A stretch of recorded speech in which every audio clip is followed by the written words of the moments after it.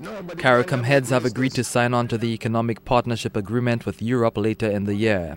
They were due to sign on September 2nd, but Prime Minister Stephenson King says some grey areas needed to be clarified. The date which has been proposed is the 15th of October, and we're hoping by then Guyana, uh, the country that has more or less stood out, will eventually come forward and um, participate.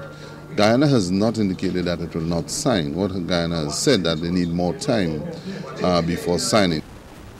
The heads are trying to work out a mechanism to allow other countries to sign and provide an opportunity for Guyana.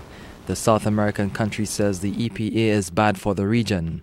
Guyana President Bharrat Jagdeo says he will sign a goods only agreement. What is in there at this stage, we are better off signing than not signing because the question must be if not an EPA, what? And the civil societies, they have not presented any alternative except to say do not sign.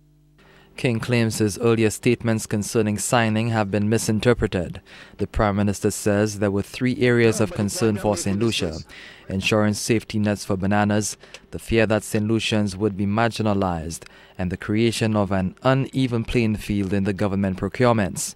King says now those issues have been addressed. We are now satisfied with, with, some of the measures that are in place within the agreement itself, which allows for some review when necessary, but also protects our own entrepreneurs, our own business people, and um, those engaged in, in, in the process.